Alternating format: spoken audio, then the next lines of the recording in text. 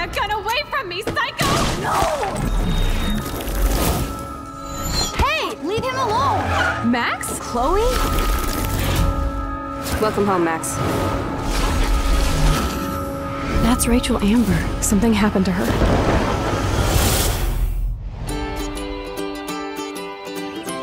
What a difference a day makes.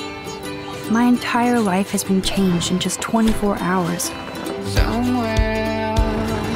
Not to mention the course of my destiny and Chloe's. This must prove that we're meant to be friends forever. I want proof you can rewind time!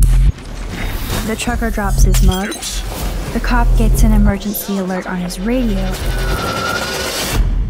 I pledge allegiance to Max and the power for which she stands. I vow to use my powers for good, not evil. What's up, Kate? I think it's awesome you set a tongue record on video. You're going to be sorry someday. There's something ominous going on at Blackwell. There's a lot of beauty here, but a lot of darkness, too. I have to find out what's going on. Hey, what are you hiding there, girlie? That's Rachel's bracelet. Give it to me right now, asshole! Please step back. Put that down.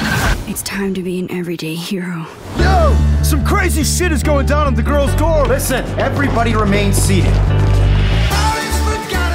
How can it be such a shitty week and yet one of the best of my life? Because we're back in action again. I keep seeing that tornado, and I wonder where all of this is going to end. Help!